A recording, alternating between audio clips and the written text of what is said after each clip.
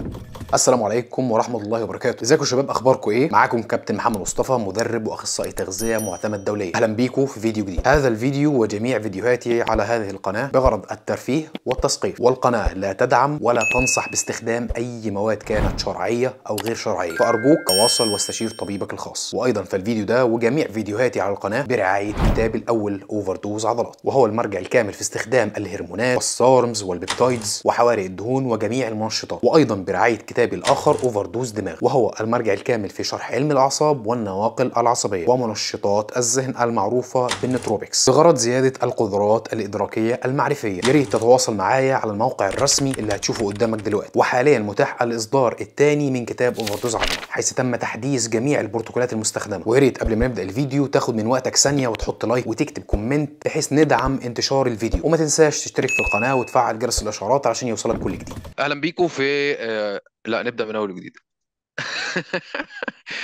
آه، أهلا يلا. بيكم يلا بينا. واحد اتنين تلاتة. أهلا بيكم في بودكاست جديد من overdose عضلات. معانا كابتن زياد دكتور زياد طبعا بحبه جدا. من أكتر الناس الفاهمة في آه، التدريب وال biomechanics. معانا كابتن آه، حسام يعني العبقري بتاعنا برضو. آه، الاتنين دول عباقرة وبحبهم جدا وبحب أسمع لهم وأستفيد منهم. فالنهاردة هنتكلم عن حاجات كتير من ضمنها الكتاب اللي إحنا بنكتب فيه حاليا وبنجهز فيه. الكتاب ده هيبقى كتاب مشترك ما بيني وما بين ال- الكباتن. هنتكلم فيه عن حاجات كتير. أولهم ال biomechanics آه، اختيار التمارين. آه، حاجات كتير قوي يعني. أنا عايز أسيب الكلام للكباتن لأنهم أشطر مني في الحتة دي. أنا بالنسبة لي ههتم بحتة التغذية ههتم بحتة آه، الكيمياء الحيوية إزاي الهرمونات بتشتغل في الجسم إزاي توبتمايز هرموناتك الطبيعية وتعليها لأعلى مستوى. آه، تعمل إيه في تغذية كمال اللاعبين آه، تعمل إيه في تغذية لاعبين كمال الأجسام وإلى آخره من هذه الأمور اللي أنا بفهم فيها. إنما جزء التدريب أو التمرين هم أشطر مني بكتير وطبعا آه، ما اجيش جنبهم حاجة في الموضوع ده. فطبعا هم هيهتموا بكتابة المحتوى ده. الكتاب هيبقى شيق وممتع وإن شاء الله هنحاول نبسط فيه على قدر المستطاع علشان تخش تقرأ الكتاب تبقى عارف أنت هتعمل إيه في التمرين. خلاص أنت حرفيا مؤهل إنك تنظم لنفسك أو لأي حد نظام تمرين معتمد على أسس علمية إن شاء الله. آه، وهسيب طبعا المايك دلوقتي لكابتن زياد. يبدأ يكلمنا عن ال- النقاط اللي هيناقشها في الكتاب. ومن ثم كابتن حسام. طيب هو الكتاب زي ما كابتن محمد قال هو هيخليك قدر الإمكان تكون عارف تفهم أغلب الحاجات عن التمرين حتى تقدر تحلل التمارين اللي بتمرنها في الجيم تقدر تحلل التمرين ده مثلا موضوع تح... موضوع تحميله فين التمرين ده الحركة بتاعته بتمشي إزاي تقدر تحلل الحاجات اللي أنت بتشوفها أصلا في يومك العادي ممكن تنعكس عليها. يعني مثلا زي الدمبل ده بيمشي إزاي مع الجاذبية؟ إضافة حاجة للدمبل مثلا لو هتحط استك مقاومة على الدمبل ده هيغير مسار الحركة بتاعه إزاي؟ إزاي ده هيأثر على المفاصل بتاعتك؟ إزاي المفاصل بتاعتك هترد عليه إزاي؟ هترد على. رد الفعل للوزن الخارجي أو المؤثر الخارجي ده بيكون إزاي؟ آه، إزاي تقدر تتعامل مع الإصابات؟ وإزاي تقدر زي ما كابتن محمد قال كمان هيتكلم عن التغذية وإزاي وهنتكلم عن ال biomechanics وهنتكلم عن إزاي بقى كل اللي اتقال ده نتكلم كمان عن ال fatigue كابتن حسام هيتكلم عن الإصابات ودي هتسيبها كابتن حسام لأن هو من أحسن الناس ال- أو من أوائل الناس كمان اللي اتكلمت في موضوع إزاي تقدر تتمرن حوالين الإصابة وإزاي أصلا الجسم بيتصاب وإزاي وإزاي إن الجسم البشري أصلا مش ضعيف لدرجة إن هو يتصاب بكل سهولة. واتكلم عن الميكانيزمات ودي posts كتير جدا على الإنستجرام بيتكلم فيها عن على mechanism mechanism الإصابة بيحصل إزاي وال fatigue بيحصل وال fatigue بيحصل ليه وإزاي وإزاي تتجنب ال fatigue.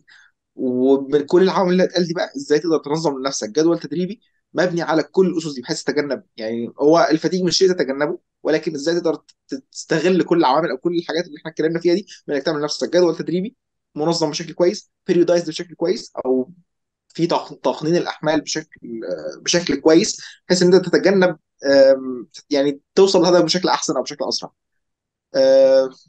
كابتن حسام يكمل مثلا الجزء اللي هيتناوله من حيث الإصابات وإزاي بص آه، هو في الأول آه، طبعا كلام آه، كابتن محمد ودكتور زياد فوق راسي طبعا هم تناولوا ال- ال- القسم الأعظم في شرح أو سرد آه، اللي هيوجد في الكتاب. هي بعض النقاط بس اللي هضيفها آه، اللي هو إحنا هنتكلم مثلا في شابتر آه، عن أهمية التمرين. ليه لازم تتمرن؟ يعني مش مش بس اللي هو بقى أنا هتمرن عشان أكبر عضلات ولا أو يعني مش كل اللي بيروحوا للجيم عشان مثلا أنا راجل داخل competition أو مش لا التمرين إلزامي حتى لل health بتاعك وهنتكلم عن الأعراض ال- الوهن اللي بتصيب الناس لما بيتقدموا في العمر ما بيحطوش أحمال أو بيحطوا آه، أي آه، مثيرات خارجية اللي هي الأوزان على العضلات بالتالي بتبدأ تفقد عضلاتك دخلك في مرض اسمه ال sarcopenia أو الضمور العضلي. إزاي بيحصل وليه بيأثر على حياتنا ككل؟ وإن هو يعتبر البواب أنا بحسه أو بعتبره إن هو البوابة لكل الأمراض اللي بتصيبك لما بتتقدم في العمر لأن ال- ال- ال- الهيكل العضلي بيمثل من 40 ل 60% من إجمالي كتلة جسمك. فتخيل لما الكتلة دي بتبدأ تقل بمقدار 10% مع كل عقد من بداية عقدك الثالث ورايح. فما بيكونش فيه مخازن لتخزين الجلايكوجين ما بيكونش فيه آه، وظيفية أكتر تحرك المفاصل بتاعتك لأن العضلات هي المحرك بتاع ال- ال- ال- المفاصل. فأنت بتكون معرض للوهن معرض للكسور معرض للأمراض آه، مصاحبة للتقدم في العمر معرض حتى للزهايمر والى اخره من الأمراض أمراض الاعتلالات العقلية آه، وارتباطهم مع بعض. آه، بجانب طبعا هنشرح زي ما كابتن زياد قال فتيج الإجهاد. إيه هو الإجهاد؟ مسبباته اليات حاجة في لا الدنيا لا بتمثل لك stress أو إجهاد بصورة معينة. مش هنقدر نشيل ال fatigue من حياتنا والاجهاد من حياتنا لكن نقدر نقننه أو آه، نتعامل معاه. هنتكلم في chapter تاني على ال recovery بقى إن إحنا إزاي نعكس كل ال strategies بتاعة ال fatigue اللي اللي شفناها والمسببات بتاعته بحاجات عكسها تحاول تحسن ال recovery وال adaptation أو التكيفية بتاعتنا عشان نبقى أقوى. هنتكلم طبعا عن chapter عن المبادئ الأساسية آه، في تقديم علم التدريب سواء ال intensity أو ال volume أو ال frequency الترددية والحجم التدريبي والشدة التدريبية. آه، هنتكلم برضو عن فترات الراحة وإلى آخره من الأمور. الكلام دي بتتدخل إزاي مع التخصصية بتاعتك؟ وهنتكلم برضو عن القوة الفرق ما بين القوة العضلية والضخامة العضلية وإن القوة العضلية آه، أمر والضخامة العضلية أمر تاني. فمش كل شخص بتشوفه كبير عضليا لازم يكون قوي. كل شخص بتشوفه قوي بيكون آه، كبير عضليا يعني دي, specific ودي specific وإن إزاي إحنا بنكتسب عضلات وإزاي بنكتسب قوة وإيه آلية العمل المسببة لده وإيه آلية العمل المسببة لده. أخيرا برضو هيكون في شوية guidelines كده وممكن نتناول بصورة بسيطة كده بعض البرامج ال standard نضعها في ال- الكتاب في الآخر عشان تكون كنقطة انطلاق ليك. لكن الأول والآخر كل واحد unique آه، أو فريد من نوعه. فلازم يحدد البرنامج اللي على أساسه بي بي بيشوف يومه يمشي إزاي المجاميع المناسبة ليه الشدة التدريبية اللي هيتمرن بيها والى آخره لكن هي دي هتكون حاجات standard يعني. آه، ده باستفاضة إيه اللي هيحصل؟ طبعا كابتن محمد هيتكلم عن العملية. آه صحيح في chapter مهم جدا جدا هنتقاسمه إحنا الثلاثة لأن ال chapter ده يعتبر من أهم الشباتر اللي أنا بشوفها هو التكيفية اللي بتصاحب عملية التمرين.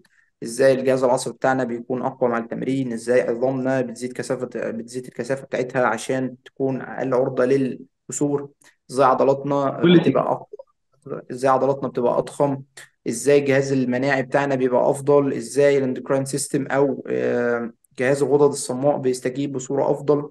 إزاي حتى عقلنا بيكون أحسن ومدرك لأمور كتيرة مع التمرين؟ فده شابتر هيكون كبير. آه، و وكل واحد فينا من إحنا الكباتن الثلاثه المتشاركين في الكتاب هيضع قسم ليس بالقليل في التخصص بتاعه. طبعا آه، قسم بسيط كده هنتقاسمه برضو هنتكلم فيه عن آه، إزاي عملية الهيلينج بتحصل في الإصابات. وإزاي نتمرن حوالين الإصابة. لا تفهم خطأ إحنا ما بنشخصش الإصابة. أنت بس الفكرة في إنك بيكون عندك مشاكل أو آلام في حاجات فإحنا بنبدأ نتمرن حواليها والريهابت آه، أو نبني آه، تكيفية للأنسجة بصورة تاني بس ده كل هنتناوله إن شاء الله في الكتاب. آه، قد يكون الشرح قليل لكن محتوى الكتاب هيكون أضمن لك إنه يكون كبير. كبير بصراحة يعني. أنا أنا اتكيفت من اللي أنت قلته بصراحة آه، بالذات مع آه، جزئية ال- آه، ضمور العضلات مع كبر السن والحاجات دي. أنت عارف اللونجيفيتي أو ال- ال- ال- البقاء أو العيش أو يعني مش عارف اللونجيفيتي يعني حرفيا المعيشة. بالظبط بصحة جيدة. تمام أنا حاولت آه. أترجم ال- الكلمة دي يعني بشكل ما ي... ما يتعارضش مع ال... ال- الدين أو ال... الثقافة الع- هو كل العربية حاجة لكن مش بدون مقاطعة لكلامك يا كابتن محمد آه، الأعمار بيد الله طبعا وربنا آه، هو اللي مقدر لنا هن- هنول- هنولد إمتى وهنموت إمتى لكن هو الفكرة في حاجة إن فعلا دراسات كحديثة وجدت إن متوسط أعمار الناس في القرن ده زادت عن متوسط أعمار الناس زمان نتيجة لزيادة الرعاية الصحية لكن في مشكلة بسيطة وجدوها إن الفانكشناليتي أو الوظيفية بتاعت حياتهم مش زي بتوع زمان. أنت بتزيد آه متوسط العمر بتاعك نتيجة لوجود طرق أحدث ممكن ينقذوا بها الناس لو حصلت لهم جلطات أو مرض السكر والى اخره من الأمور. لكن آه أنت ال lifestyle بتاعك بيحدد أنت هتعيش إزاي. آه قد أعيش من العمر آه طبعا بإذن ربنا يعني 50 سنة 60 سنة 70 سنة ايا كان. لكن ده معناش بالضرورة إنك هتفضل محافظ على الوظيفية بتاعتك طول ال 60 70 سنة. في ناس بت- بتكون قاعدة في الفراش أو بتستخدم عكاز في أواخر أيامها من الخمسينات ورايح نتيجة للضمور العضلي اللي بيحصل لهم. والاعتلالات العضلية اللي بتصاحب الأمر ده. فأنت ال longevity بتاعتك آه زادت في في القرون اللي إحنا فيها لكن ال functionality بتاعتك قلت نتيجة لل lifestyle habit اللي أنت بتتبعه من ال physical inactivity أو عدم الممارسة للنشاط الرياضي بصورة شبه مستمرة.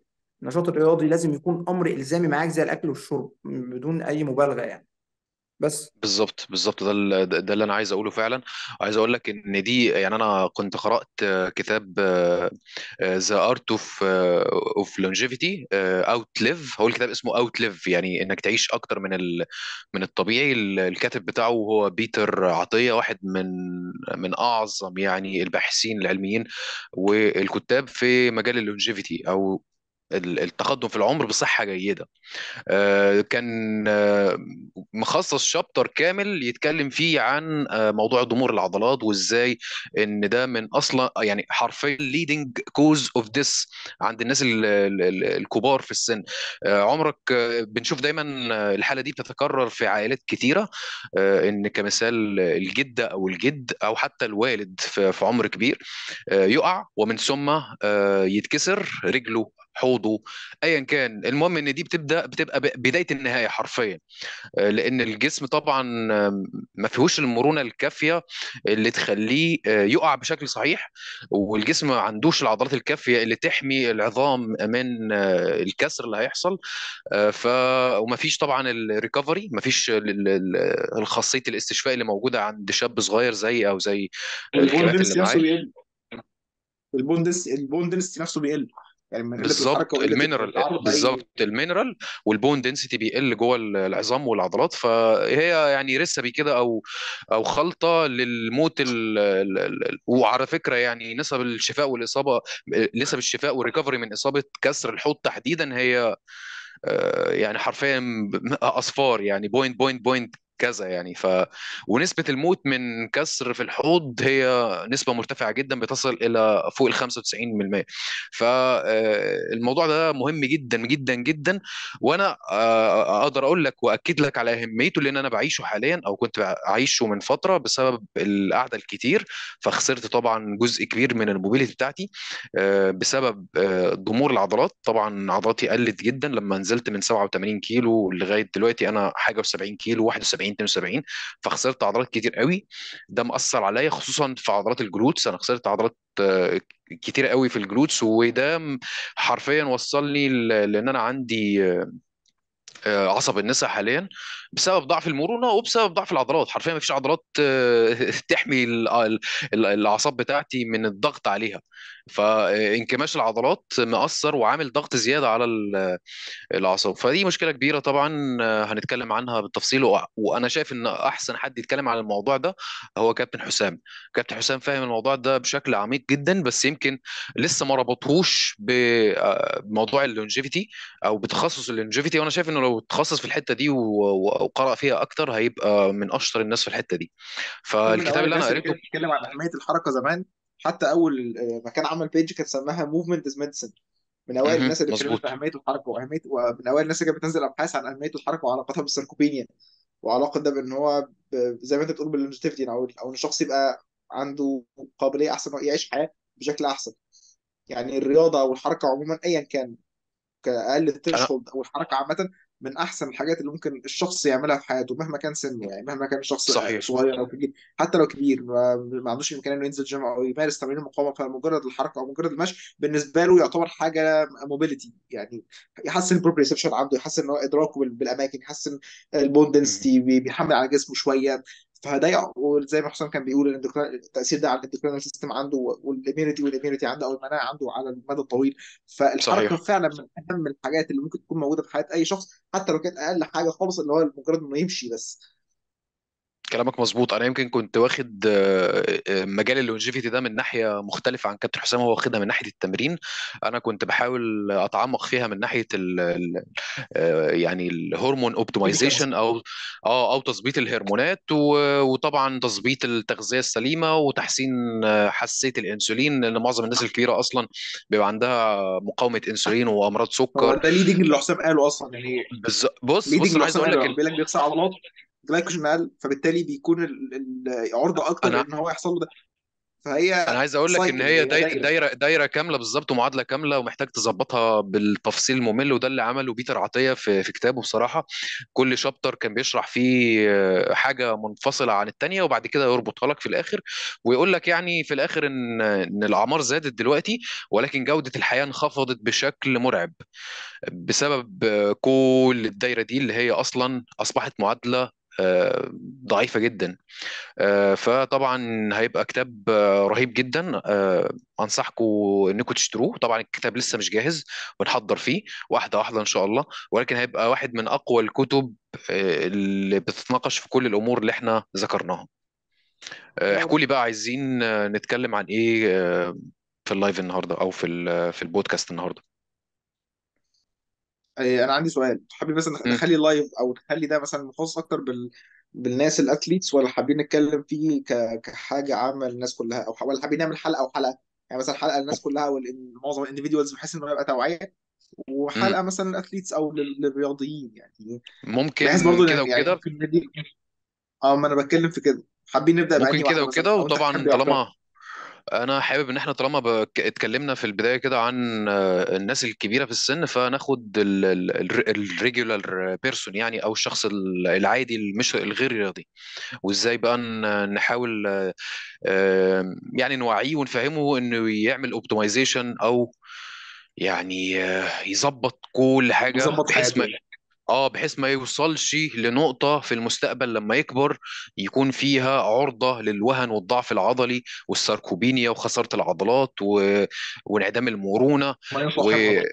آه وفقدان طبعا حساسية الإنسولين والاعتلالات العصبية دي من أكتر الحاجات برضو ال- ال- اللي بيتر عطية عمل عليها stress في في الكتاب بتاعه ودي من أكتر الحاجات اللي ب stress عليها بنفسي الاعت- الاعتلالات العصبية. يعني دي مشكلة كبيرة وهتحصل 100% لو ما ظبطتش تغذيتك وتمرينك ورياضتك بالذات التغذية بالذات التغذية. لأن يعني حاجة طيب بسيطة إيه قوي نبدأ بده صح؟ يعني نبدأ بال بال بال most people أو ال individuals العاديين خلاص يعني. بص م- آه، ما هقول لك نخليهوش على حاجة. متناول قوي. قول لي. آه آه بص هقول لك على حاجة. ك ك regular populations أو آه، ناس عامة آه، هو البني آدم منهم مثلا إحنا هن هنصنفك. أنت دلوقتي راجل رايح الجيم عشان تكون صحتك أحسن. لا رايح عشان تبقى رياضي ولا رايح عشان تطلع على مسرح ولا ولا ولا. فأنت رايح راجل تتمرن عشان آه، يعني تمارينك يعني تقدر تقوم من على الكرسي كويس. تقدر تنزل من على السلم أو تطلع السلم ما تنهكش. آه، ما تبقاش عرضة أكتر لإنك تقع وكده يعني. مع التقدم في العمر آه، البني آدم مش بس بيخسر كتلة عضلية وبيخسر تكيفية بتحصل في الأربطة والأوتار وكثافة العظام وإلى آخره من الأمور لكن كمان بيفقد حاجة مهمة جدا وهي اسمها مستقبلات اسمها ال proprioceptions أو ال mechanoreceptors اللي هي المستقبلات الحركية. المستقبلات الحركية دي كان دكتور زياد لسه ذاكرها. دي الميكانو ريسبتورز مظبوط؟ آه ميكانو اللي هي ريسبتورز أو اللي هي المستقبلات بقى المسؤولة عن الحاجات يعني انت استشعار. عندك مثلا آه آه إحنا في إحنا استشعار إحنا المكان يعرف يعرف هو ريسبتورز من ال- من ال- من المكان نفسه أو يعني ب- بمدرك باللي آه حواليه ريسبتورز دي بريشر تم فايبريشن تناولها في آه، أو آه، ت- تم تناولها في الفيلد بتاع الم- المصل هايبوتروف إن هي بتديتكت الو- الويت اللي موضوع عليها بالتالي ده بينعكس على الميكانيكال تنشن والى اخره لكن هي ليها دور مهم جدا جدا في تمرين ال special populations إن هي بت detect المكان اللي أنت ماشي عليه. هديك عايز مثال أقول بسيط. لك آه، معذرة المقاطعة عايز أقول لك كنت لسه بتكلم مع كابتن أحمد شلبي وكابتن مصطفى خلف في النقطة دي. كنت بحاول أربط ما بين آه، يعني تفعيل مستقبلات ال mechanoreceptors اللي هي المسؤولة عن استشعار الحمل الميكانيكي الخارجي والمقاومة الخارجية وما بين تفعيل ال IGF 1 ال localized اللي هو ال mechano هو factor ال- ال- 1 ال- بالظبط. لا بز... مش مش ده بس لا كمان ال isoform اللي هو بيبقى آه، متواجد بشكل locally أو بشكل محلي داخل العضلات أو العضلة اللي موضوع عليها الحمل و- واللي هو اسمه إيه؟ اسمه mechano growth factor. فأنا كنت مستغرب اللي هو طب هل في أصلا ترابط ما بين تسمية ال receptor ده مع آه، عامل البناء الشبيه بالإنسولين ال isoform تحديدا اللي اسمه ال mechano growth factor؟ برغم كل اللي عرفته بال pain science ومجال الألم ومجال ال- ال rehab وال injuries لما بيجي لي أقول له والله أنا ما عنديش علم. فهو إزاي؟ يا ابني صدقني الإجابة مش بالسهولة اللي أنت متخيل ما أقدرش أديك إجابة. فهو لما يجي لي مثلا عنده ألم أو حاجة ممكن أراجع معاه يومه ماشي إزاي؟ ممكن أراجع الأحمال التدريبية اللي مارسناها أديله شوية cues بسيطة كده. يعني أنت بتنام كام ساعة؟ ثلاث ساعات أربع ساعات؟ لا حسن جوده نومك قلل ال stress اللي بتتعرض له نعيد جدولة أحمالنا التدريبية. الأمور تمام فأنا هعرف إن هي كانت المشاكل البسيطة في ال lifestyle بتاعته دي اللي كانت فيها الأمر. مش تمام فأنا لازم بأحيله ل physical therapy أو physiotherapy doctor علاج طبيعي عشان هو اللي diagnose أنا بقى بمشي على ال diagnose بتاع الدكتور. هو بيقول لي عنده واحد اتنين تلاتة. تمام؟ حتى لو أنا كنت متأكد من الضي... من من جوايا إن هو عنده الواحد اتنين تلاتة دول ما ينفعش أقول له الواحد اتنين تلاتة دول لأن في حاجة اسمها scope practice التزم بال scope practice بتاعك. هو بيجي لي بقى بيقول لي أنا عندي واحد اتنين تلاتة. خلاص ببدا أتعامل أنا بقى على كده. أنا جاي لي الراجل متشخص فأنا بشتغل على التشخيص اللي جاي لي. آه، بس أنا ما كنتش عايز أسحبك بعيد يعني بس أنا بقول لك إن إن كل واحد فينا حاجة. آه، حصل. متفق معاك. يعرف يعرفني جيدا يعرف إن أنا مش هقول لك بكرة لكن أنا مخنوق إلى حد ما من ال من من من ال functional anatomy اللي طالع الأيام دي والى اخره من الأمور. كله بقى بيتكلم بنظرية سطحية. أنا لا أقوم في دور ال functional anatomy اللي هي التمارين أو ال- أو ال- ال- التشريح الوظيفي تمام؟ لكن آه، كثرت الأقاويل وكثرت طريقة السرد وكثرت ما بص طالما العلم بقى. هو العلم متاح جدا. دي حاجة كويسة حاليا العلم بقى متاح جدا. لكن السطحية في التعامل إنك بتجد حاجة وتطلع ترميها. على سبيل المثال تمرين زي السكال كراشر. آه كتير طلع إنه قال التمرين ده هيأذي كوعك وهيأذي مفصلك ومش أفضل تمرين على أي أساس. أنا أراهن أي حد إنه يجيب لي مثلا دراسة أو تجيب لي case study عملها حتى على نفسه تقول إن التمرين ده مؤذي للكوع إحنا عارفين مبدأ ال adaptation to impose demand أنت بتتكيف عشان تدفع نفسك للأمام. Adaptation to impose demand. Demand بتتحط عليك متطلبات أو أحمال خارجية بتتحط عليك بالتالي أنت بيحصل لك adapt تبدأ تعلي ال dose بتاعه آه، التكيفية أو آه، ال- ال- الطريقة يعني الجرعات اللي بتحطها سواء الأحمال التدريبية أو الشدة التدريبية اللي بتحطها. فتيجي تبص تلاقي إن أنت لما بتزود بمقدار معقول بتبدأ تتكيف على الأحمال اللي بتوضع عليك. فصدقني أسوأ أسوأ أسوأ التمارين آه، اللي أنت ممكن تظن إن هي سيئة ما زال ما زالت مش سيئة طالما أنت قادر تتكيف عليها وبتعملها وجايبها من تحت زي ما بيقولوا يعني. فأسوأ التمارين هو إنك ما تتمرنش أساسا تمام؟ فالناس بقى بدأت تتوهم إن في تمارين ما هو أنت لما بتقول لحد إن تمرين هيأذي كوعه أو ركبته أو ظهره أو غيره. أنت مش بس بتخلي الشخص يقلل الحركة بتاعته في المسار الحركي بتاع التمرين ده وبتبعده عنه أنت كمان بتربي جواه حاجة اسمها sensitivity ال nervous system أو over protective mechanism الجهاز العصبي بيكون حمائي زيادة عن اللزوم للجسم بيخلق يعني الألم جزء كبير منه جهاز عصبي. بعيد عن إنك يكون عندك آه، تلف في أنسجة أو مشاكل عقلك بي detect إن دي حركة فيها threat أو خطر. ما هو الألم بيترجم لخطر ما بيترجمش في الأساس ل tissue damage أو آه، تلف في أنسجة عضلية. فأنت توهمت بالقدر الكافي إن الحركة دي هتسبب لك ألم. فصدقني أنت أول ما تعمل الحركة دي هيجي لك ألم فعلا. ال- ال- فالطبيعي لما بيجي لي طفل من الأطفال اللي أنا بمرنهم ولا حاجة يا coach أنا ما كل ما ركبتي تعدي مشط رجلي أو أنزل squat بيجي لي ألم. ليه يا ابني؟ أصلا أنا سمعت وقال لي وجالي وراح لي فابدأ re-education الواد أو البنت من وهو صغير تاني أقول له ما فيش حركة ما فيهاش مش يعني في بتسبب لك مشكلة. بس إحنا بنبدأ نخليك تتكيف بالتدرج في الحركة. تمام؟ فممكن بقى أنت تقدر تقول في حركة ما تخدمش أو في تمرين ما يخدمش غرض أنا عايزه. على سبيل المثال ال alignment وال resistance profile ممكن بتاع ال skull crusher مثلا ما يكونش أفضل شيء لعضلات ال triceps بتاعتك. فأنت ممكن ما تختاروش كتمرين للضخامة مثلا. لكن أنا ممكن أختاره كتمرين تاني. يعني أنا ممكن أحسن. لعيبة البيسبول لما يجي يرموا تمام؟ أنا ممكن أحسن ال isometric آه، بتاعهم بإن أنا أعمل لهم skull crusher overcome isometric اللي هو يجي كده ويروح ماسك مثلا بار ويزقه على حاجة ثابتة تمام؟ عشان أحسن الثروين بتاعهم. الثروين بيجي من من ال- الكتف وبيجي بعد كده يكمل من الكوع عشان مثلا الكورة تروح. فبالنسبة لي ده تمرين كويس جدا تمام؟ ما تطلعش تحكم بالكلية إن التمرين ده ما ينفعش ماشي؟ قول مش هيخدم هدفي. لكن ما ما, ما تقولش حاجة صدقني أنت ما عندكش أي معرفة بيها.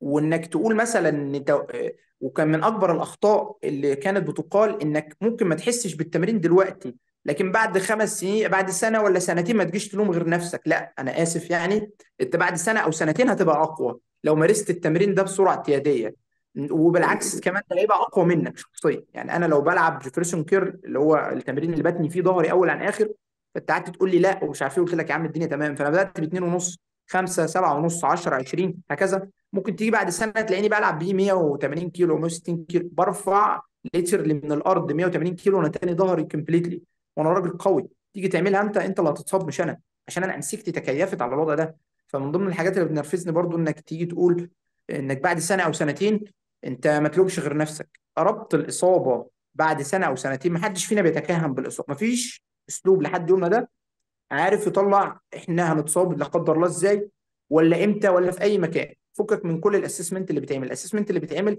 هو بيجد نقاط الضعف عندك فين؟ آه يمين شمال. بتحاول تعالجها عشان تقلل الإصابة لكن الإصابة لما بتمنعش بالكلية. كل إصابة ليها در أو كل آسف كل رياضة ليها درجة من الإصابة ما تقدرش تنسل منها. آه، ال powerlifter مثلا آه، لكل 1000 ساعة مثلا تجد من 2 ل 3% ال bodybuilder واحد ونص مثلا ل 2 الرجبي ممكن تجد آه، 13 14% أو 15% الرجبي لأنها عنيفة وفيها اصطدامات كتيرة ممكن تجدها عالية. كمان أنا عايز أقول لك ممكن تصل لأعلى من كده. ال football ممكن تصل ل 30% تمام؟ يعني من أصل كل ال bodybuilding ال bodybuilder ضعيفة. يعني كل ده ممكن تجدها واحد لاثنين من واحد ونص مثلا لاثنين ونص لكل 1000 ساعة أنت بتعملها.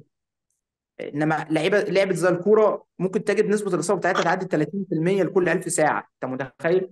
ال contact آه، الرياضة مثلا بيكون فيها التحامات بيكون فيها task functionality كتيرة أو وظيفية كتيرة في الملعب فدي ممكن تضعك في مدى مدى حركي أو مجال حركة أنت مش معتاد عليه بشدة عالية أو بسرعة عالية فلا قدر الله تحصل لك الإصابة بسبب كده.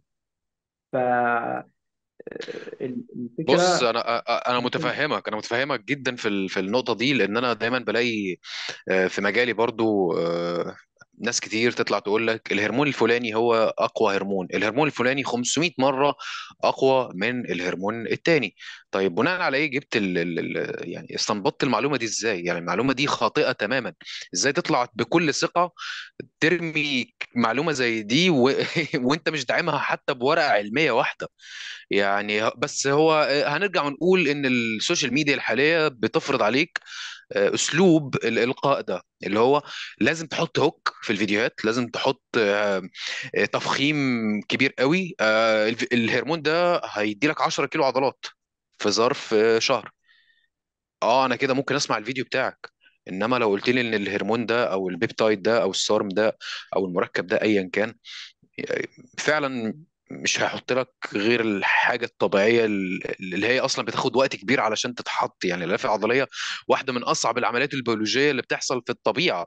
فإنك تخلق حرفيا ليفة عضلية الموضوع صعب يا جدعان. أنت أنت موضوع كبير قوي. مش بالهيافة وبالسهولة اللي أنتوا بتتكلموا بيها. الموضوع فعلا بياخد وقت وسنين سنين سنين طويلة. علشان يعني لاعب ال- ال- البادي بيلدينج المحترف اللي أنت بتشوفه دلوقتي على مسرح وبيكسب بطولات ده بقاله 20 و30 سنة بيبني في الكتلة العضلية اللي عنده مش آه، شخص جه في سنة خد كورس هرمون واحترف. الموضوع مش بالبساطة دي خالص وبكره جدا الصيغة دي. آه، ولو إن أنا كنت بستخدمها بنفسي فيما سبق يعني في الفيديوهات القديمة وفي في الحاجات القديمة علشان يعني مجرد إن أنا بحاول أجيب ريتش ولكن آه، حاليا بدأت أحترم أكتر المحتوى بدأت أحترم عقول المشاهدين ومفيش فيديو بعمله ما بيكونش مدعوم على الأقل يعني ثلاث أربع آه، أوراق بحثية وبكون سايبهم لك في الفيديو علشان تشوف وت- وتقارن كلامي بال- بالكلام المدعوم ده. وما بقاش خلاص بالنسبة لي أي كلام في الهوا لأ هتقول كلمة انت محاسب عليها وانت مطالب ان انت توفر آه، على الأقل بحث علمي بيدعم الموضوع ده. يعني الموضوع ما بقاش آه، رمي كلام في البطيخ وخلاص وده أقوى وده أقل و... لا آه، احترم عقلية المشاهد واحترم عقلية الناس اللي بتتفرج حتى لو هم ما طلبوكاش إن أنت تحترم عقليتهم. الناس هي أصلا مش عايزة حد يحترم عقليتها الناس عايزة حد يفخم لها في الموضوع ويقول لها التمرين ده هو أحسن تمرين آه، والوضع ده هو أحسن وضع تمرين. الماشين دي هي أحسن ماشين للبناء العضلي. الطريقة دي نظام التمرين ده الناس بتحب التحيزية وبتحب إنها تكره في حاجة بناء على جهل بناء على جهل لأن الجهل هو اللي بيولد الخوف. لو حد كمثال ما جربش الإنسولين دايما هيبدأ هيكون بي بيحذر من الإنسولين بيخاف منه مرعوب منه. آه، موضوع بسيط قوي ممكن تقارنه بإن أنت عندك شارع شارعين. انت شارع كنت دايما متعود تمشي فيه وشارع تاني موازي للشارع ده بس انت ما عمركش مشيت فيه. دايما تلقائيا دماغك هيختار انه الشارع اللي جربه قبل كده واللي عنده تجربة معاه وهيتفادى بشكل كامل الشارع اللي عمره ما جربه. فنفهم إن عدم التجربة بيولد آه، جهل والجهل بيولد خوف ودي دايرة انت لازم تطلع منها كمقدم محتوى وك مستمع. طب كابتن حسام آه، عايز رأيك في موضوع ال- أو الترند الحالي اللي شغال ما بين الناس اللي بتؤيد الشدة العالية وال volume القليل وما بين الناس اللي بتؤيد ال volume العالي والشدة القليلة. هو أصلا في حد بيأيد ال- ال- الشدة ال- ال- المنخفضة وال volume العالي؟ ما أظنش صح؟ ده في في في عادي. يعني حتى ده كان في دراسة طالعة قريب على 52 مجموعة في ال 52 مجموعة العضلة في الأسبوع وحققوا results كمان إيه رأيك؟ مهم. بص يعني آه، بصورة أو بأخرى آه، الناس آه، بتكون متحيزة للرأي الشخصي بتاعها سواء طلع آه، دليل يثبت عكس أو لم يظهر دليل يثبت آه، وجهة نظره أساسا لكن هو آه، حشي بشيء معين جواه أيا كان نوعه هو تمام بالنسبة لي.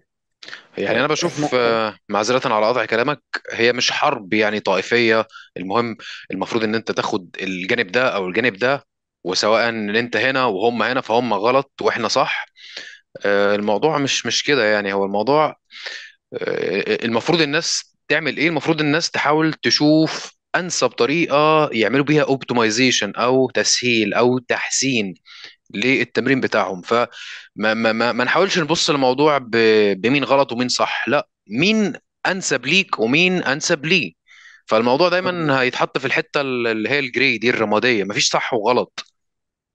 مظبوط. ما ما ما تتحطش. دايما الناس داخلة بوجهة نظر يا أبيض يا اسود تمام؟ آه، الفكرة كلها في إيه؟ آه، حتى معرفتنا عن الضخامة العضلية دلوقتي مش مكتملة.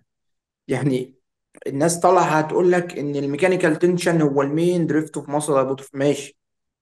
دي أكتر نظرية مرجحة. لكن أنت عارف من أول ما الإشارات العصبية أو الإشارات الخلوية بتدخل لحد ما عضلاتك تكبر بالظبط وال cross section area بتاعتها تزيد والى اخره 100% إزاي؟ لا محدش فينا عارف. لحد دلوقتي مش عارف. تمام؟ إحنا عندنا ثلاث نظريات اللي هو ال mechanical tension metabolic stress وال muscle damage. أهم الأدلة بيرجح نظرية ال mechanical tension إيه ال mechanical tension ببساطة؟ إيه الأحمال الميكانيكية؟ إنك تحرك العضلات في الزوايا الميكانيكية بتاعتها المخصصة يعني ما تلعبش تمارين زي ال bench press وتقول أنا هكبر ظهري كده بتهزر تمام؟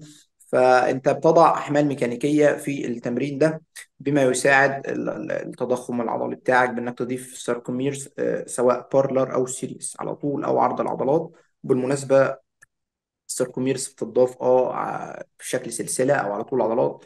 الناس فاكرة إن ال- ال- العضلات لما بقول ال sarcomeres بتضاف ك series آه، أو كشكل سلسلة إن العضلات بتطول.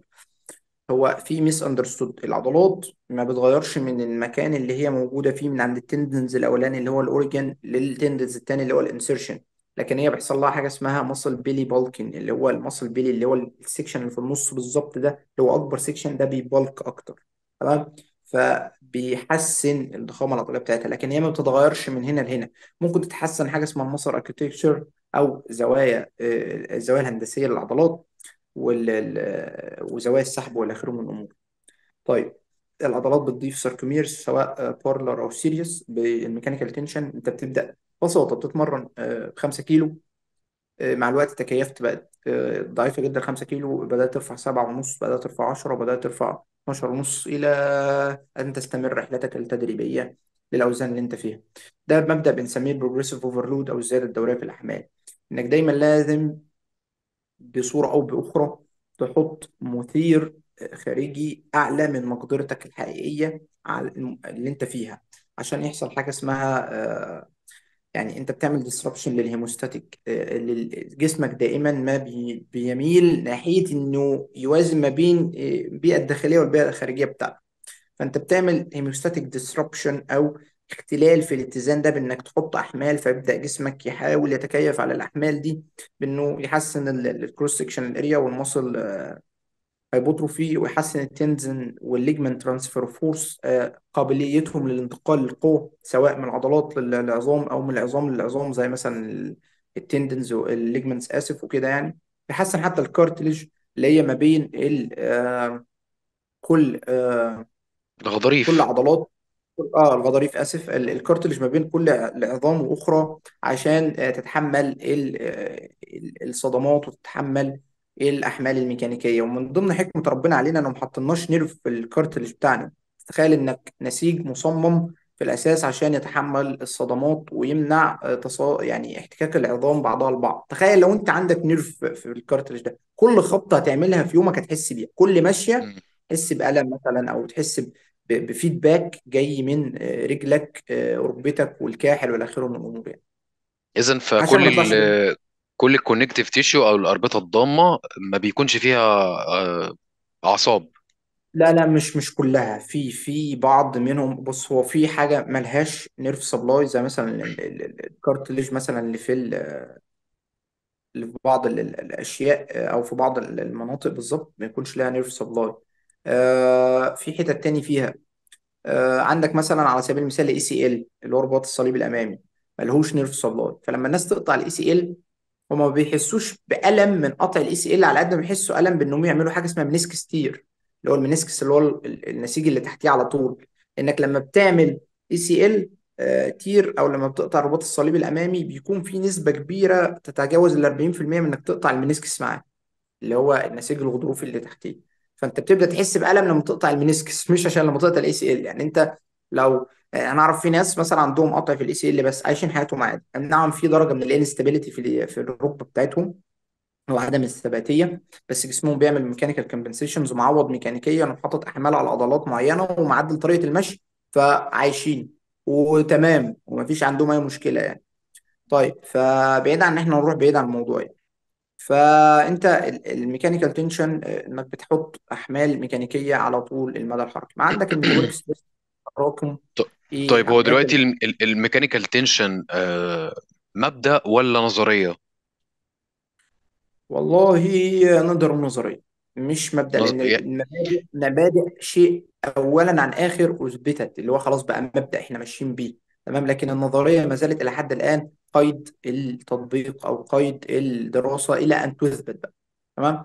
mechanical tension هو مرجح وعليه حجم ادله يعني أنت مثلا لما تيجي تشوف حجم مثلا أدلة على ده تلاقي عليه مثلا حجم أدلة 70% وده عليه حجم أدلة 30% أو 20% وده حجم أدلة 15% فالطبيعي المرجح اللي عليه حجم أدلة أعلى.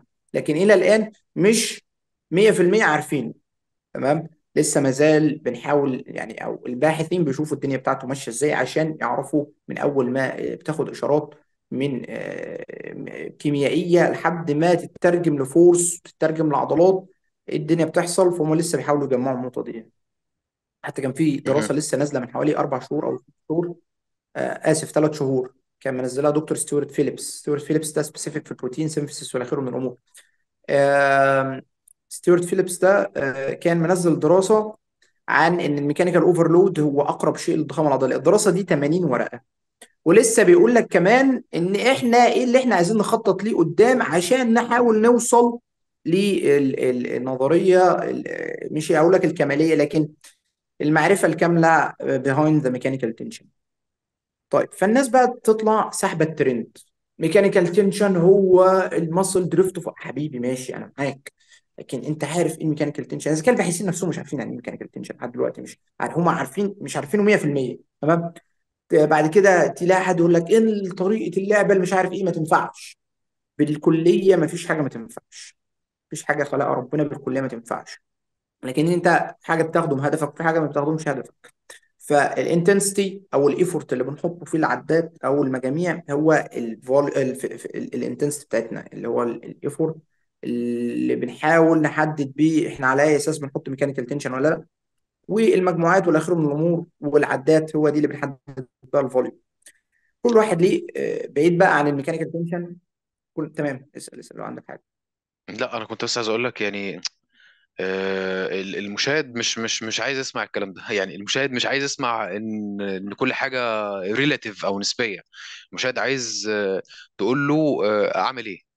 يعني المشاهد عندي على القناة بيكون عايز يعرف أخد كام ملي جرام لمدة قد إيه؟ أنا مش مهتم أعرف بقى الهرمون ده إيه وظايفه ال chemical structure بتاعه مش مهتم أعرف ال ال إيه اللي بيحصل على المستوى الخلوي مش مهتم أعرف الجينات هتتعامل إزاي. أنا عايز أعرف كام جرام؟ كام شهر. الموضوع انتهى على كده. أكتر من كده أصلا أنا مش هسمع لك. فنفس الفكرة في التمرين. الناس عايزة تعرف إيه يعني إيه هي الشدة العضلية؟ أعرف أنا اتمرنت بشدة كافية إزاي؟ وليه هي أصلا أفضل من ال يعني من ال من ال- الفوليوم العالي؟ بس لا مش مهتم أعرف أي حاجة تانية. طبعا أنا وأنت هنبقى مهتمين علشان يبقى في backup للكلام اللي أنا بقوله. أو يبقى في ظهر ساند عليه آه، في كلامي ولكن المشاهد مش عايز آه، يعرف المعلومات آه، دي غير ناس معينة يعني. فدي المشكلة دي دي المشكلة في تقديم المحتوى. إزاي تقدم محتوى تبسطه على قدر المستطاع في كلمتين ثلاثة أنا عارف إنك ممكن تختلف مع المبدأ ده لأن صعب تبسط حاجة بال... بال... بال... بالتعقيد ده في كلمتين ثلاثة الفكرة كلها في حاجة. أنا لو عندي أو لو ظهر الحجم الأدلة الكافي اللي يخليني أقول كابتن محمد أنت تلعب من مجموعتين لثلاثة أو أربعة مثلا العضلة في الأسبوع بوزن كذا وده أحسن range ليك عدات وأحسن range مجموعات وأحسن range وزن تلعب بيه وتحقق بيه ضخامة. والله كنت طبقته على نفسي وخلصت وطبقته على الناس اللي بمرنهم وخلصت لكن أنا ما ينفع ما أقدرش أطلع أدي guidelines مفيش guidelines لل hypertrophy بالنسبة للمجموعات العضلية والبتاع. فأنت عندك المتلقي عايز يسمع حاجة أنا ممكن أديك range من كذا لكذا لكن ما زال range تنبؤي تمام؟ مش range أكيد. ف... فانا حاسب لو أنا قلت حاجة بتنبأ بيها. ما ممكن غيري يطبقها وما ما تمشيش عليه ولا قدر الله يضر بيها. يعني أنا على سبيل المثال حد أي حد بيدي guidelines على ال social media فهو بيدي آه، رأيه الخاص مش آه، مش guideline هيتماشى مع كل الناس. وإنما وإنما أي حد بيدي فهو مظبوط. لأن يعني حتى هيكون أنا لو اديتك أو لو اديتك لو اديتك حاجة خاصة ما زالت ال lifestyle habits بتاعتك بتلعب دور كبير. هديك مثال بسيط. أنا كحسام كنت بتمرن ست أيام في الأسبوع. full body معظمهم معظمهم كان يا إما فيهم squat و deadlift و bench press يا إما حاجات بتحاكيهم. الثلاث تمارين دول مرهقين وبيتعبوا و... وكنت بتمرن بشدة عالية وكنت بوصل فيهم لحد ما يطلع عيني. تمام؟ طيب. وكانت أفضل فترة ليا وجدت قوة عضلية وضخامة عضلية في أفضل فترة ليا حرفيا كنت قوي قوي قوي. كنت بتمرن من خمس لست أيام في الأسبوع full body طيب أنا ممكن أنصح كابتن محمد بكده ما ينفع مستحيل. ليه؟ أنا راجل كنت بنام حوالي من من 8 ل 10 ساعات بمتوسط كانت التغذية بتاعتي مظبوطة جدا. كان كل اللي بعمله في حياتي كانت فترة إجازة بقى. كل اللي بعمله في حياتي. الشغل بتاعي الأونلاين آه، مذاكرة آه، مش ب stress نفسي في أي حاجة. بيجي مواعيد النوم بتاعتي بنام التغذية بتاعتي ظابطها. كان معدلات ال recovery بتاعتي تمام ما كنتش ب stress نفسي بحاجه تمام؟ إنما دلوقتي هل أنا بقى أجيب واحد آه، شغال؟ عنده أسرة. آه، ساعات ما بيعرفش يظبط ساعات النوم بتاعته الكافية بالثمان ساعات ولا 10 ساعات زي ما أنا كنت ظابط هم ست ساعات بس عشان الشغل. عنده شغل وعنده مدير مقرف عنده stress بيتحط عليه مواصلات بيروح مواصلات بيحصل. level ال fatigue بتاعه في اليوم عالي. هو نفسه كبير عنده حاجة و30 سنة ومعدل ال recovery بتاعته مش زي واحد عنده 20 سنة واللي عنده 40 مش زي اللي عنده 30 هكذا يعني. أحط عليه الأحمال دي أنا فعلا بحكم عليه إنه هيتصاب. بضعه في حكم إنك في النهاية هتتصاب. تمام؟ آه، طبعا أنا ما بقولكش طبعا عشان الناس ما تنسلش وتقول لك إن البني آدم آه، هيتصاب من أقل حاجة لكن من أهم العوامل البني آدم بنحطها في اعتبار إنه ممكن يتصاب الأحمال التدريبية. اللود والكاباسيتي بتاعتك مقدرة تحمل الأنسجة بتاعتك على مقدار اللود اللي أنت بتحطه. في دايما شعرة بسيطة بتفصل ما بين الاثنين عشان أتحسن في ال capacity لازم أعلي ال load بسنة بسيطة. هل في طريقة تخلينا نقيس مقدرة تحمل الأنسجة وال capacity بتاعتها؟ للأسف لحد يومنا ده مفيش مفيش غير طرق بتطلع على الحيوانات النافقة أو الأنسجة الميتة ودي طريقة غير صحيحة مش هتترجم على كائنات حية زينا يعني. فلو أنا عندي المعرفة الكافية اللي أقول لك قدر الله المفصل بتاعك ال shoulder بتاعك قبل ما يحصل لك قطع في ال biceps أو ال pectoralis major هيتحمل إنك ترفع 100 كيلو ست عدات خلاص يبقى أنا هعمل لك 100 كيلو خمس عدات. أنا وصلت لك لل maximum adaptation بتاعك وبعدتك عن ال injury rate بتاعتك. بس ما فيش حاجة الكلام ده. فإحنا بنحاول نوازن ما بين الاثنين أو نواكب ما بين الاثنين فما ينفعش أطلع أقول للواحد أتمرن بال high frequency أنا بشوف ال lifestyle بتاعه الأول هيدعم إن أنا أحط له عدد مجموعات مناسب هيدعم إنه يتمرن كام يوم في الأسبوع هيدعم إنه يتمرن بشدة عالية ولا لأ. ممكن هيدعم إن أنا أحطه قريب لل failure وساعات في failure كتير آه إنه يلعب 1 RIR أو reps in reserve أو عدة واحدة بعيد عن الفشل العضلي أو حتى zero RIR كم مجموعة يقدر يحقق بيها فشل عضلي أو كم مجموعة هتكون effective ليه ولا لأ؟ كل ده بينعكس على ال lifestyle بتاعك. في ناس هحط لهم مجموعتين ثلاثة أربعة في ناس ممكن أقل في ناس أعلى. في ناس التردديه التدريبية بتاعتها هوزعها أكتر نتيجة إن الناس دي عندها فائض في الأيام وفترات الراحة بتاعتها اخره من النمو. ف guidelines أو range أنا بصراحة مش عايز أقول أقول كلمة أنا مش مسؤول عليها. أنا أي متدرب بيجي لي. يعني بقعد أرغي معاه ساعة ونص عن حياته ماشية إزاي بس بعيد عن إن هو إيه. يعني من ضمن الحاجات كمان اللي بسأله أنت عند عمرك التدريبي كام؟ عمر التدريبي سنتين ثلاثة عمرك التدريبي ده كنت بتتمرن كام مرة في الأسبوع؟ لأن دي بتفرق في ال skills بتاعتك في تعلم المهارات. يعني أنت لو لو اللي بيجي لي عمره التدريبي سنتين بيتمرن مرتين في الأسبوع مش زي اللي بيجي لي ثلاث أيام في الأسبوع مش زي اللي بيجي لي أربعة لأن ال skills بتاعته في ممارسة الحركات بتكون أعلى لأنه مارسها بصورة أعلى. بالتالي عنده تكيفية ومقدرة على ترجمة الحركات اللي أنا بقولها بصورة أحسن. فأنا عارف إن أنا سحبتك لموضوع تاني لكن أنا بحاول أبرر إن أنا ما ينفعش أديك حاجة rigid متزمتة كده أنت تعمل دي. أنت مفيش بتحاول تبرر إن أنت دايما بس محتاج سياق. آه صح محتاج إن دايما أنا أترجم حياتك ماشية إزاي عشان أعرف أقول لك هنمشي إزاي. بالظبط لازم السياق. لازم تقول لي context أو أو أو أو أو معلومات عنك علشان أقدر أقول لك آه، ده الأنسب ليك. مش هقول لك ده الصح 100% لكن هقول لك ده الأنسب ليك ده المناسب لفترتك الحالية آه، وفقا للمعطيات اللي أنت قلت لي مظبوط عليها. فدي دي المشكلة دي المشكلة دي بقابلها برضو في ال- مظبوط. في الم- في المتابعة في المتابعة معايا وخ... و- بعيدا عن إن أصلا يعني آه، أنت بتتابع في حتة معينة وأنا بقى وأنا ليا سكوب معين أو تخصص معين ولكن أنا وأنت بنقع في نفس ال- الم- ال- ال- الحتة دي. آه، مفيش آه، أبيض وأسود. مفيش مفيش غير رمادي والرمادي ده معتمد آه، ملوش هو هو علشان كده رمادي علشان كده رمادي هو ملوش أصلا guideline معين أو طريقة معينة إن أنت هو معتمد على السياق. أنت بتعمل إيه؟ حياتك أخبارها إيه؟ آه، ال management ال fatigue بتاعك آه، ماشي إزاي؟ وبناء عليه بنحدد هنعمل إيه في الفترة الجاية. اللي ممكن أصلا بعدها بفترة تانية تتغير علشان ظروفك تغيرت. فالموضوع مش مش مش سهل. بس آه، ومع ذلك هطلب هطلب منك ومع ذلك هطلب منك تقول لنا آه، لو هنتمرن بشدة عالية آه، نتمرن في range عدات كام؟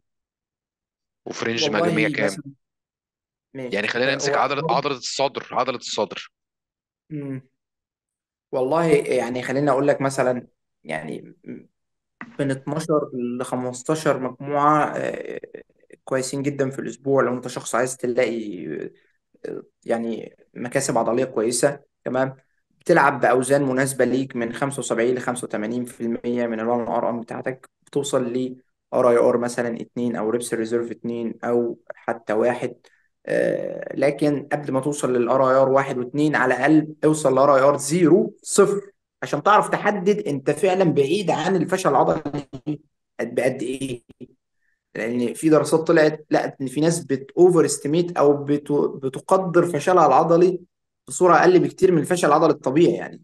في ناس أساسا كانت بتقول أنا فاضل لي عده وهم كان عايد لهم من ثلاث لخمس عدات وفي ناس قالت أنا عايد لي عدتين وهم كان عايد لهم من سبع ل 10 عدات في ال tank مظبوط. فأنت أوصل للفشل العضلي الطبيعي فعلا أوصل للفشل بتاعك إنك ما تقدرش ترفع فعلا وطبعا ده بيحتاج safety equipment أو معدات تكون فيها safety يكون جنبك حد. أنا ما بقولكش اعمل كده على طول بس بقول لك على الأقل اعمله مرة عشان تعرف تحدد انت فين. بعدها حط تمريناتك عدتين بعيد عن الفشل العضلي. عدة بعيد عن الفشل العضلي. فحط ال ال ال الشدة بتاعتك RPE اللي هو rate perceiving exertion اللي هو مقدار التقدير الذاتي بتاعك للمجهود. حطه من سبعة ونص لتسعة ونص مثلا. وحط ال RIR اللي هو العدات في ال tank عندك من 2 لواحد. والعب مثلا آه، لعضلاتك من 12 ل 15 مجموعة هتلاقي فيه نتائج كويسة جدا آه، على مدار الأسبوع يعني. بس دي آه، ك guidelines يعني range برضه من كذا لكذا. يعني. ده. يعني أحسن طريقة أقدر أصيغ بيها السؤال من غير ما أكون متزمت بس فهمتك فهمتك. إجابة إجابة منطقية و... تاني عشان الناس تفهم. نعم. بقول لك شايف إن الدنيا تمام ولا محتاج أضيف حاجة تاني عشان الناس تفهم؟ لا لا كده الدنيا تمام. لا كده الدنيا تمام. مم. وضحت لهم يلعبوا قد إيه ويعني وضحت الموضوع بالكامل. ده اللي ده اللي أنا كنت عايزه منك يعني اللي هو على الأقل ادي الجايد لاين بتاعك اللي أنت ممكن تطبقه على نفسك يعني. لو, لو أنت جاي هتحكم على نفسك إزاي وهتنظم نفسك إزاي هو ده اللي اللي هتعمله. فحلو قوي مظبوط. طيب آه، حابب نتكلم في إيه تاني؟ والله إيه رأيك مثلا؟ إيه مم. رأيك مثلا تشرح لنا مواضع آه، التحميل على العضلات؟ بص هو آه، أنا أنا ككابتن حسام أنا بكون ميال قوي للقوة العضلية أكتر من الضخامة العضلية. نتيجة إن القوة العضلية يعني من أكتر الحاجات اللي بت- بتقل معانا في الوقت أسرع من الضخامة العضلية. لكن لا يعني ما فيش مشاكل. هو أنت عندك ال lengthened position وال short position وال middle اللي هو يعني ما بين ده وما بين ده. هنترجمها. لك اللي هو باستفاضه اللي هو بسيطة وضع يعني. الاستطالة وضع الانقباض وضع المنتصف. مظبوط كده؟ بالظبط آه، في دراسات حاليا طلعت مش عدد قليل حوالي من ست لثمان دراسات على حسب ما أتذكر. من ثلاث لاربع دراسات فيهم وجدوا إن آه، العضلات بت- بت- بتنمو بصورة أعلى في وضع ال length position أو وضع الاستطالة. وفي باقي أو اتنين آه، ما وجدوش أي اختلاف ما بينهم وما بين ال full range of motion في واحدة طلعت لقت إن في العضلات قلت فإحنا هنرجح حجم الأدلة مثلا لل length position لكن هل ده من الضروري؟ بقول لك روح اعمل لي ربع عدة في كل حاجة في ال length position بتاعها. لا على الأقل مارس ال full range of motion الأول افهم الدنيا بتاعته ماشية إزاي في التمارين. بعدين بقى قسم التمارين اللي هتستحق إنك تحط فيها length position ولا لأ. بعدين إحنا بنحط حاجة اسمها ال benefit to cost ratio قد إيه أنت هتستفاد على قد إيه ممكن يكون الخطر أو العائد السلبي من الحاجة دي عليك. ال length position هو بيكون عضلاتك فيه قوية إنها تنتج عضلات لكن في نفس الوقت بتكون آه، قابليتها للإصابة في ال vulnerable بتاعتها أو ال- القابليه للإصابة بتاعتها أعلى. ال length position بيحط force أعلى. دائما ما بترتبط الإصابات ال- ال- ال- ال traumatic اللي هي ال- ال- الجامدة يعني ال- ال- ال- الجامده جدا ب ب- بالحاجات ال force يعني قد إيه بيطبق قوة على مفاصلك هل مفاصلك بتتحمل ولا لا. فال length position بيحط force عالي. هي العضلات بتكون قوية فعشان كده بيحط عليها force عالي. هتكون نسبة الإصابة في ال length position عالية. فأنت كده مثلا تجد ال partial rep ال- ال- ال- ال bench press مثلا بالدمبل بتوصل للآخر. فأنا بحاول أبين لك أهو. أهو. مثلا partial rep partial rep ده بعد ما وصلت لل failure في ال complete rep بتاعتك يعني. فأنت بتحط تحاول تضيف partial هو بيكون كويس وبيحط effective reps أو عدات آه، بتترجم معاك كمال زيادة على العضلات لكن برضه أنت بتكون عرضة أكثر لا قدر الله الاصابه نتيجة إنك حتى عضلاتك وصلت للفشل بس أنت بتحاول تدفعها بطريقة تاني إن أنا أعمل rep position طبعا ال short position اللي هو الوضع اللي أنت عضلاتك بتتحداها فيها في وضع الانقباض اللي هو بتكون أقوى ما يمكن في الوضع المنقبض مش المنبسطة فيه يعني. آه، تمارين زي ده مثلا آه، على سبيل المثال تمارين زي ال cable lateral raise ال front بتاعك مثلا. آه، التمرين ده لما بتلعبه بيكون لحد ما قوي في وضع ال- ال- ال- الانقباض العضلي بتاعك. لكن تمرين تاني لو لعبتهم behind اللي هو من وراك آه، بيكون في ال length position بتاعك. قوي أكتر ما يمكن في ال length position في دراسات لقت إن ال short position برضو بي... لو الناس اتمرنت في ال short position بس حسنت ال- الضخامة العضلية والقوة العضلية. وده بنرجح لحاجه اسمها muscle regional muscle hypertrophy اللي هو الضخامة regionally اللي هو بأجزاء معينة. كنا زمان بنقول لك. يا العضلة كلها تتضخم يا لأ. فكنا بنسميه مبدأ اسمه or none principle. آه، المبدأ ده مش خطأ بالضرورة إن العضلات كلها بتشتغل مع بعضيها لكن أنت بتزيد التحيزية بتاعة العضلات. فلما تيجي تلعب تمرين زي ال Romanian deadlift بتجد إن عضلاتك بعيد عن ال glutes إن هي هتنمو. طبعا بتيجي نقيس على ال hamstring بتلاقي إن ال- ال- الجزء القريب من الحوض بينمو أكبر من الجزء القريب من الركبة.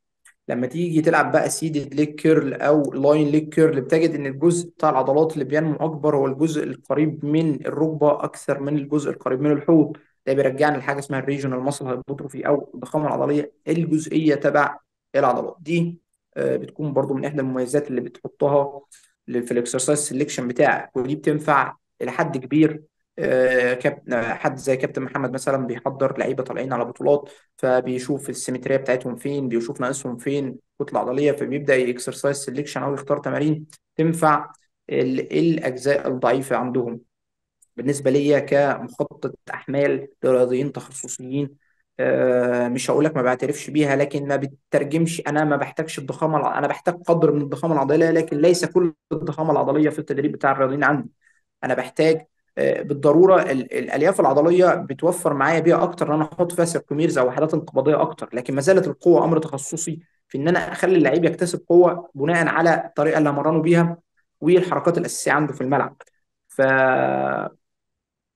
إمتى نستخدم دي وإمتى نستخدم دي الأمر بيحتسب يعني أو بيختلف من شخص للتاني. فللضرورة مفيش حاجة خطأ ومفيش حاجة صحيحة. نيجي بقى لل middle range. ال middle range هو الطريقة اللي بيعلق فيها آه، البار أو ال- ال- الدمبل في المنتصف بالظبط. آه، دائما ما بيكون تجد إن في ناس بيكون البار بيجي عندهم في النص كده وبيفضل واقف شوية. دي حاجة بنسميها اسمها ال sticking point أو نقطة ال stick جاية من الوقوف أو ال- يعني حاجة علقة. نتيجة لأن ال lever arm بيكون أعلى ما يمكن بيرسم lever arm أو ذراع عزم أعلى ما يمكن على المفصل. فال producing force بيكون في النقطة دي أعلى شيء قدامك حلين. يا overcome وتروح مكملها ك concentric أو عدة آه، إيجابية يا الوزن بي defeated أو بيغلبك أنت فبتنزل بيه ك eccentric وهنا بتوصل لل complete لل failure بتاعك. وقت ما تعرفش تحرك ال- التمرين أو تحرك البار أو الدمبل في في العدة ده الميكانيكال failure ولا يعني هو ده ال mechanical failure؟ muscular failure آه. mechanical. أصل آه آه، ال muscular failure أصل أقول لك على حاجة. ال failure ليه أنواع كتيرة. في ال muscular failure والناس يعني بتشوفه إن هو بيقول لك إنك عضلاتك مش قادرة تنتج قوة في العدة الإيجابية أكثر من كده ب proper technique أو بتكنيك معين. تمام؟ أنا ما بحبش أقول ب technique standard بقول بس بتكنيك يخدم الهدف اللي أنت بتعمله. تمام؟ آه في psychological failure في failure إن أنت مش مربي mental resilience عندك أو إن عقلك قوي للدرجة الكفاية اللي يقول لك زق عدة وعدتين كمان. انت عضلاتك ممكن تكون قادرة تنتج قوة لكن انت دماغك خلاص أنا أنا تعبت تمام؟